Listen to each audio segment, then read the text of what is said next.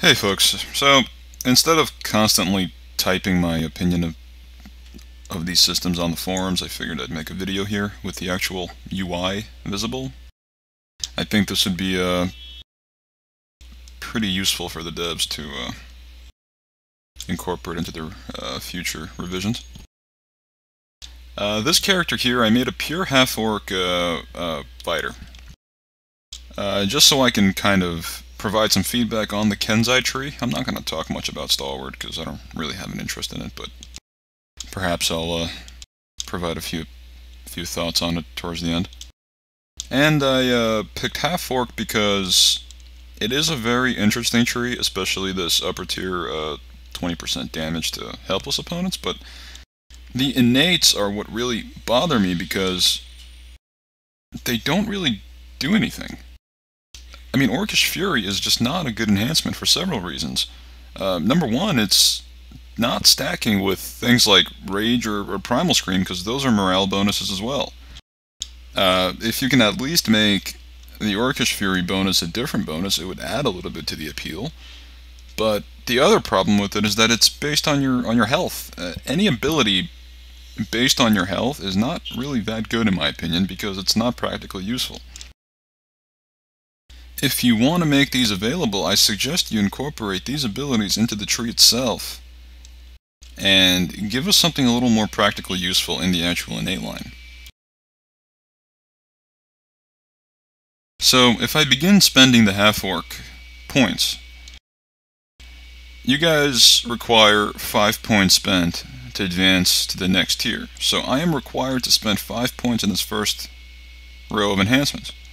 Well, the obvious thing that everybody's going to take is this weapon training here, which on its own costs 2 action points for just 1 to hit and damage.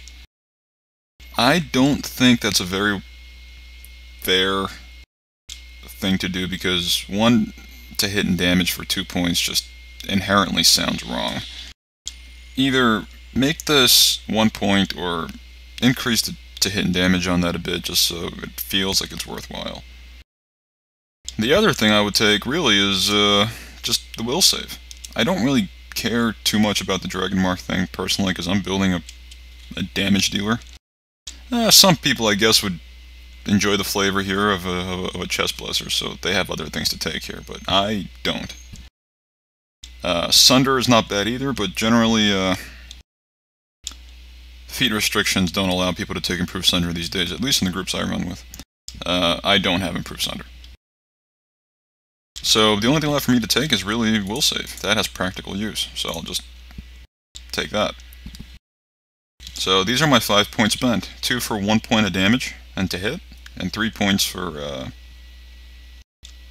plus three will save. Now I can take an extra strength, which is, you know, it's nice. Alright, let's take that. And I don't really think I'm going to go any further than that. I mean, this Orcish Fury is horrendous. And it, I cannot justify spending these extra points just to get another point of strength. It's just too expensive.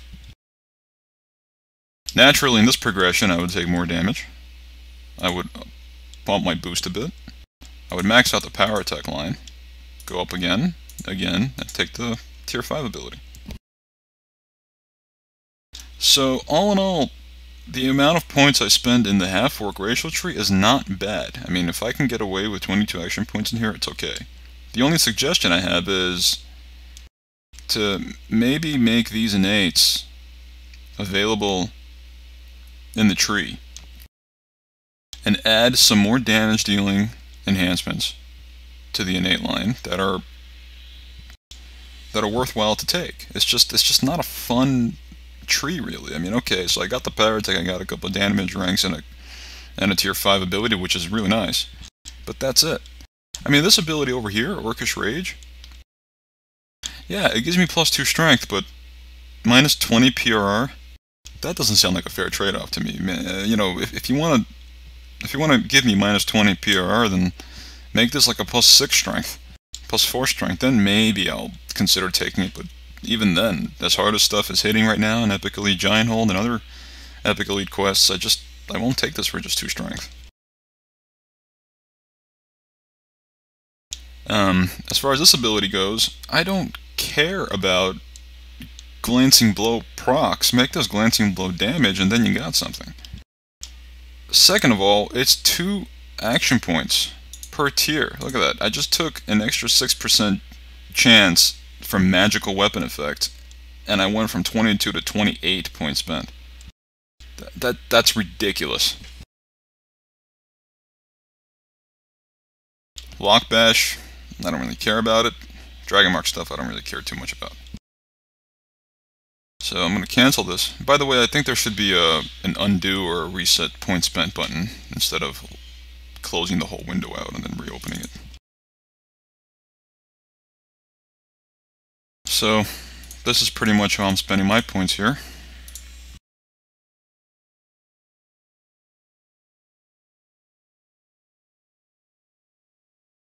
So 24 points spent in this tree. I'm not going to really take these that, that strength enhancement until I see what's going on here. Now the Kensei tree. So this tree has just a lot of problems. the biggest issue I have with it is this attack boost. I don't give a shit about attack boost. Never did, probably never will unless there are some major to hit AC changes. It's just not good. This battle meditation uh, ability is actually kind of nice, but it's not worth two points to reduce the meditation by two seconds per tier. Obviously, any Kensei that starts this tree will take the first weapon group specialization, so I'm doing Axes here, for instance. I'll take the first innate, obviously. So now I need to spend three more points. Uh, in my case, I don't care about exotic weapon uh, mastery because, you know, I'm not using an exotic weapon. So the only other thing I have left to spend here, there's no other choice, is attack boost. And I have to take all three tiers because there's nothing else to spend points on. I mean, there could be something here that might be a little useful. Maybe that's where the extra action boost should go, that this tree's missing. That would be really nice. But I would still have to take at least one point of attack boost to work up this, this uh, pathway here. Next, I guess I'll just take Spiritual Bond because I have to. I don't really like this ability too much. I could just get it from Battle Meditation if, I, if I'm gonna do that. But I have to take this because I have to progress toward uh, Power Surge, which is a nice ability, and the Capstone if I stay pure. So, I spend my 5 points on the bottom row. Now naturally, I have to proceed up here. Now what do I do? Well, okay, Battle Meditation is nice, I'll take the first tier. That just cost me 2 points. Now, if I want to meditate for 4 seconds instead of for 6 seconds, I have to spend 2 whole action points just to reduce that by 2 seconds. These should be 1 action point tiers. Just, there's no other way around it. It has to be 1 action point per tier.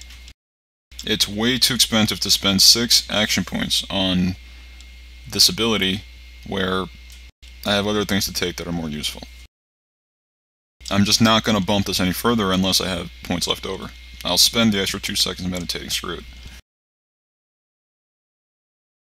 So, tactics, I definitely want to take. Two action points per DC is outrageous, by the way, but oh well. That seems to be the trend in this entire tree. This is ridiculously expensive. Two action points per tactic. So if I want plus three to tactics, I spend six points. Whereas, say,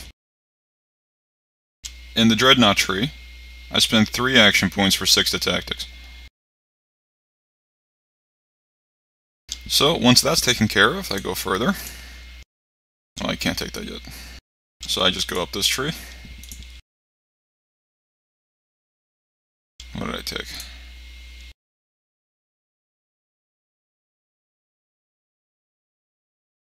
Uh, for some reason this is locked out.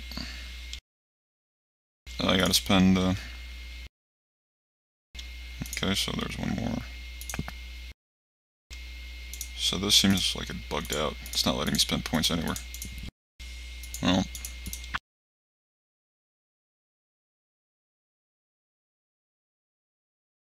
Alright, let's respend this then.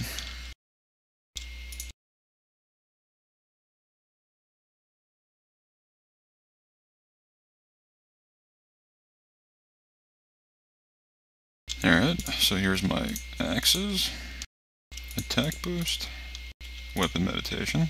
Tactics. First tier. That's my third tier. Strike with no thought is not a bad ability, but it seems like when I finished this I had four double strike because of these four abilities. Um, it should really be six because it's just kind of neither here nor there if you give one extra percent double strike if it's onward from this enhancement. Just make it for every innate. I think that would be a little more uh, intuitive. But I don't really have a real super good reason for that. It's just it seems better if you just do it for every innate. Um, anyway, I'll proceed further with this line.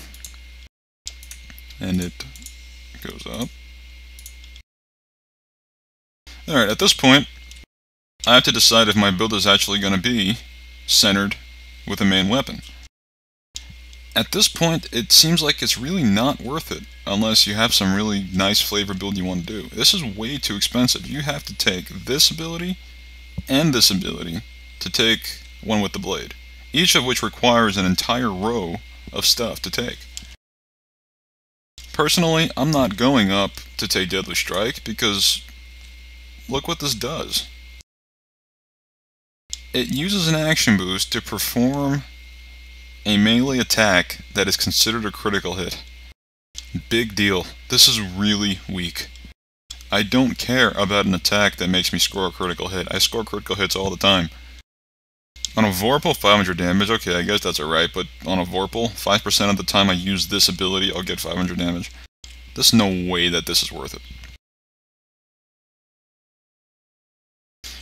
Uh, Shattering Strike is actually a really nice ability, but as I've said on the forums, uh, it's just not good that it's only a Wisdom modifier. I cannot get a meaningful DC with this ability from a secondary stat, especially with the saves that Epic Elite mobs have in Gianthold and other quests, like in, uh, in High Road. It's just not happening. So I'm not going to take this ability, and I'm not going to take Deadly Strike. It's just, these are not good. These are, these are wastes. So what I am going to do is I'm going to take this useless ability right here, which costs two points by the way. This is my second most, this is the second most aggravating thing in this tree for me because the first was attack boost. Second is this stupid critical accuracy enhancement that you guys are still making us take as you do on live right now. And two points per tier, this is adding insult to injury, really. Nobody has a problem confirming. Nobody has a problem confirming the, their critical hits. It's just, it's just not happening. Why are we being forced to spend this many points on an ability that is also required to go to something nicer like a good death, which is, I thought, a pretty good ability. And then critical hit damage, out of the entire tree, it's shoved right in here. So even, even my access to this ability here is gated by my access by my uh, action point expenditure to this, you know, in this ability. It's just not good. This this is really hard to use. It's very there's there's really no choice for me.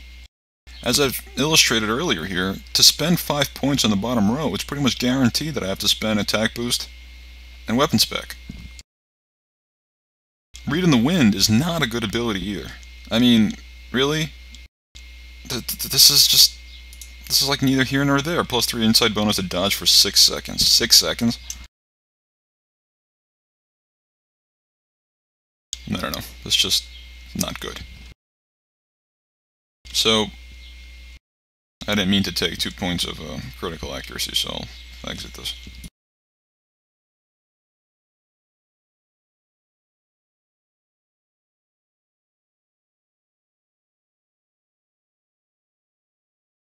So the half-orc tree spends 24 points. Kensei tree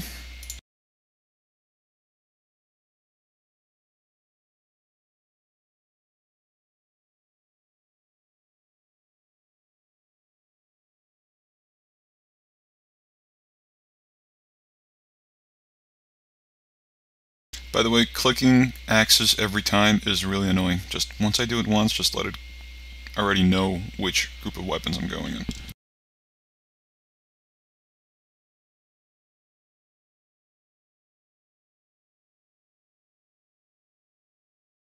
Alright, ascetic training is actually uh, kind of a nice addition to this line. I thought that these were pretty nifty uh, choices. It's pretty uh, interesting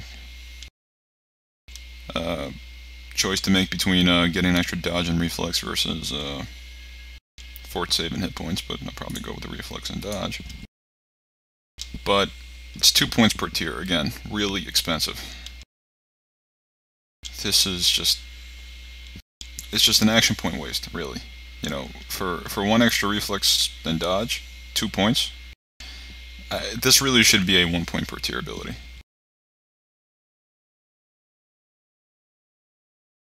So I'm going to take one of these, one of these, and grab uh, a good death. I thought a good death was an okay ability. Uh, extra multiplier and 500 damage but under 20. There is some control over this. Unlike Deadly Strike, there is no control over that 500 point Vorpal because it's on a Vorpal. So it can come, it may not. I have no control over that. Uh, the fact that it's a auto auto crit means nothing to me. I'm just not going to take it. Uh, especially if it's an extra thing to click. Out of all the things I already have to click, uh, I'm just not going to use it. I'd rather use Momentum Swing, which already expands my critical threat range, and plus it gives me more damage. But uh, a good death I can play with. And obviously I'll take Keen Edge. So that's it. Then I have to take one cut, which by the way is a horrendous ability because I can't use it alongside an action boost. It puts my boost on cooldown when I use one cut. So what the hell's the point of me even using this at all? But I have to take it if I want to grab the capstone. Well, now if I want to grab the capstone, I have to spend 40 points. As you can tell, I don't really care about anything else. Problem here now is that uh, this really uh, puts pure builds at a disadvantage. Because if I was a splash build, I would be able to move on. But as a pure, I have to take the capstone because it's, it's a good ability. So to do that, I have to spend 5 points more in the tree, and then spend the extra points that this thing costs. So I'm not spending 40 points, I'm spending 42. So now I have to decide what to spend 5 points on. So I guess I'll take uh, extra meditate, which is 2 points. Get one more um, dodge and reflex. So I'm at 39. And this is the problem I had when I first started doing this again. Uh, every other ability here is 2 points. There's no 1 point ability here to spend to get me to 40. So now this tree ends up costing 43 instead of 42. Because I have to take something to get to 40. So uh, bump that again. There's 41. Now I can take my capstone, so I'm 43. This leaves me with 13 points remaining to spend elsewhere. So any other tree I want to take, where it's also gated by 5 points to get to the second tier, and 10 points to get to the third tier, I can spend 10 points, get to a third tier, and then have 3 action points left to spend something in that third tier. I can't even grab any innates anywhere else. I didn't grab any innates in my racial tree either. So, what I spent points on here was most of the racial tree, the entire PRE tree, well, not even the entire one, I mean I spent it on mostly on the left hand side here. Right hand side I find kind of useless. And then I have 13 points left to kind of dick around in another tree. Which is, you know, a little disappointing considering that if I didn't have such expensive, wasteful enhancements, like attack boost, critical accuracy, I would be able to spend those points elsewhere better. So the main points I'm making here concern action point cost of useless abilities, and action point cost of abilities that are moderately useful but are not powerful enough to warrant their cost. Kensei Tree especially, this attack boost needs to be put off to the side somewhere with no arrows connecting it to anything. Just leave it somewhere where a person can take it if they feel that their to hit is not high enough. But don't force it upon me if I feel that I don't need it. I don't need it. I'm not even going to hotbar this thing. Now when you guys put haste boost back in, I'm almost positive it's going to be a tier 2 ability because it's like that in the Shadow Dancer line, and uh, not Shadow Dancer, um, one of the Rogue uh, PREs. And uh, that suggested that it'll be here as a tier 2 enhancement as well. So, in order to get the haste boost, I'm going to have to spend 5 points anyway. Now, we're also missing extra action boost. I hope that makes it into the tier 1 tree, so if I can have action boost in the tier 1 tree, weapon spec, that gives me my 5 points needed. But if you don't remove attack boost, that means I would actually have to spend 8 points here because I'm going to want to get battle meditation. Or weapon meditation. So the problem here is that I have to work through a useless enhancement to get to something I want.